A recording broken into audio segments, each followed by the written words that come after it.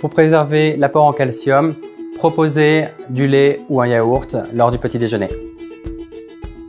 Si votre fille de 4 ans a très faim le matin au moment du petit déjeuner, ce n'est pas forcément qu'elle a besoin de manger beaucoup. Elle a faim, donc elle doit manger. Et donc là, vous allez lui proposer ce qu'elle a envie en diversifiant les apports le matin.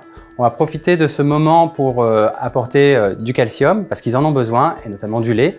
Ça peut être du lait euh, au chocolat, ça peut être un bol de lait avec des céréales. On limitera les, les, céréales trop transformées. Il ne faut pas les interdire non plus. C'est aussi un moment de plaisir le petit déjeuner. Si l'enfant aime ces céréales, il peut manger des céréales dans du lait, c'est une occasion de lui faire prendre du lait. Si l'enfant ne souhaite pas prendre de lait, on peut également lui proposer un yaourt, qu'il soit nature ou sucré. Pour limiter les produits euh, trop transformés, on peut également lui proposer du pain avec euh, ce qu'il souhaite euh, dessus, du beurre, de la confiture ou même de la pâte à tartiner. Ce qui compte, c'est de ne pas en mettre trop dessus et de savoir manger autre chose que ça.